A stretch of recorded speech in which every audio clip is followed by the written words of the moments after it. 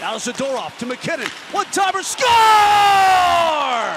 Nathan MacKinnon on the one timer brings it upstairs past Rinne, and the Avs strike pay dirt first. His 31st goal of the year.